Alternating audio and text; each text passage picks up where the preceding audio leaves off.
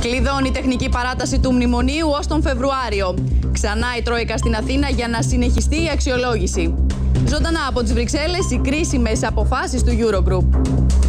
Στο τραπέζι σχέδιο για προεδρική εκλογή μέσα στο Δεκέμβριο με ανοιχτή τη Βουλή στις γιορτές. Πρώτα η εκλογή και μετά η ψηφοφορία για τη συμφωνία με την Τρόικα δηλώνει υπουργός. Εκρηκτική σύγκρουση Σαμαρά Τσίπρα. Κινδυνεύει η ζωή του παιδιού μου από την απεργία πείνας, προειδοποιεί ο πατέρας του Νίκου Ρωμανού. Τι του είπαν Σαμαράς και Τσίπρας. Νέο κύμα εμπρισμών και καταλήψεων. Βίντεο ντοκουμέντο. Κουκουλοφόροι ρίχνουν μολότοφ από ταράτσες των εξαρχείων. Πιάτσικο σε καταστήματα. Εδέ για τον αστυνομικό που γρονθοκοπούσε διαδηλωτή με χειροπέδες.